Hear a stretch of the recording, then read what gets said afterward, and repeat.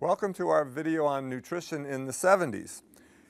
I won't read the title yet because our first question actually relates to the title.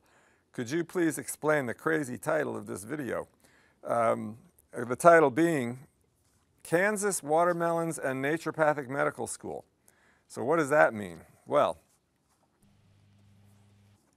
at the end of the 60s, I was explaining a little bit about, among other things, what I was eating then. And I was, I was eating brown rice and salads and raw milk and a lot of fish. And that helped me begin getting over my very severe gastrointestinal problems.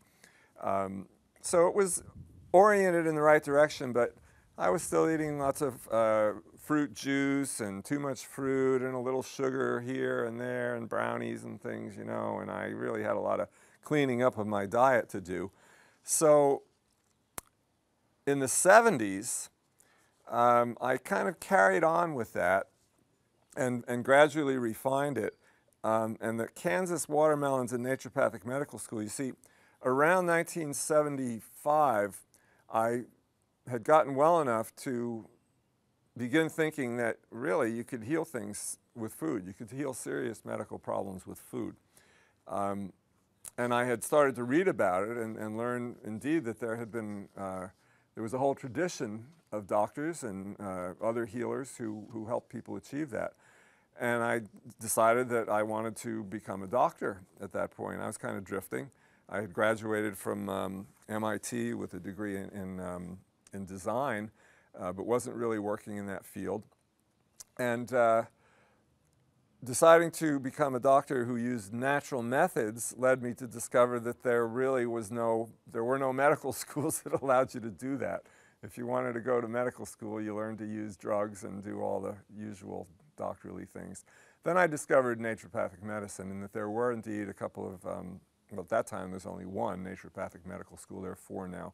So I went to naturopathic medical school and at that time the National College of Naturopathic Medicine was in um, the, the, the, clinical two years, the third and fourth year were in Portland, Oregon, and the first two years, the, the, the study years where you study all of the, you know, the, the biology and the psychology and the anatomy and the physiology and so on and so forth, the pathology, um, were at, in Kansas, in Wichita, Kansas. So there, of course, Wichita, Kansas is uh, the center of a, a huge farm belt and this coincided with the years when I was uh, not completely vegetarian, but close. I mean, I'm six feet, I go about 175 now, comfortable weight for me, has been for many years. In 1975, six feet, 135. I was not a picture of glowing health. Um, too many vegetables, too much fruit, not enough animal food. Um, so the watermelons, I mean, there were times when I lived on watermelon for two or three weeks at a time. And I felt about as good as a 135 pound six footer can feel. Um, I thought I was fine, but I certainly know now in retrospect that that was not really where it was at. Um, so that explains the title of this video. And, and uh, before I go further into the 70s, I'll look at the next question and, and we'll see what that leads us to. Well, why did you become a naturopathic doctor? I think I answered that one in the last, in the last um, phase, the last question. But you know, there was one thing I remember distinctly thinking to myself, well, I've got to make a living some way. And if I can just make enough to get by as a naturopathic physician, um, I'll be happy with that. I can do something satisfying. I can do something that makes me feel like I'm, I'm really helping other people, that I can uh, you know, kind of sleep okay with at night. And that, that essentially was why I was pretty idealistic, I think, and that's essentially why I became a naturopathic doctor. Um, when I was going through school, what major changes did my diet take as I learned more about nutrition? Well, unfortunately, I did not learn, I did not learn what I needed to learn from school.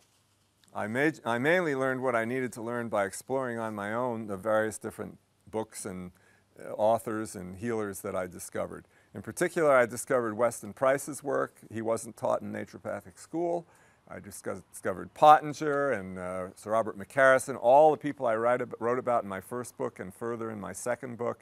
And by reading and studying their work, I, I discovered what I needed to know about, really know about natural foods in order to get well. And I made major changes, and primarily in the direction of, of eating a lot more animal food and, and starting to go from 135 to 175 and, and, and be very comfortable with that.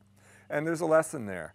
No matter wh- where you go to school or what you study or who you study with, you have to be open to your own ideas and not just rely on what you get from um, your mentors. It's great to have good mentors, but um, truly great, truly great mentors are very few and far between, and you might not be lucky enough to connect with one.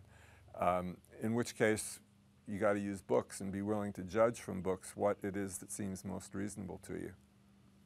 So there's an old saying from Winston Churchill most men occasionally stumble over the truth, but usually they just get up and carry on as if nothing had happened. So, next question. One more. I, I really like the fact that you say you brushed on vegetarianism. If you stopped eating meat, per se, in the 70s, mm. how did your body react when you started picking it up again?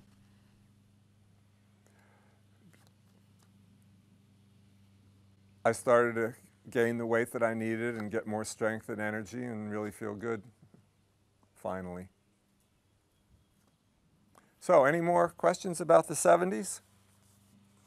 I think I have been through Do you like Led Zeppelin? Led Zeppelin was 60s. That, that hit me in the 60s anyway. Sorry, I wasn't born yet. And that's a, a great example of a band that had three or four really, I think, great songs and then a lot of noise other than that.